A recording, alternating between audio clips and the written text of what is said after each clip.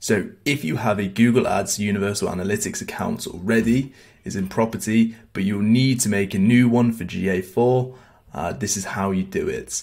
First of all, what you do, if I just move my face here, we go into admin, and then under this section, the admin section, we can see we have a property here, which is a UA. This is just a dummy account from my time at uni, I think. All we have to do to create a GA4 property is click create property. Then this will automatically default it to a Google Analytics 4 property. Um, I'll just keep it in line with what I had. And there we go. Don't want to create a Universal Analytics account. Uh, we click next. By the way, you don't have to do any of these. You can just click create. And there you have it. I can do a video on how to connect it to your websites using Google Tag Manager. But yeah, that's simply how you create, your analytics property.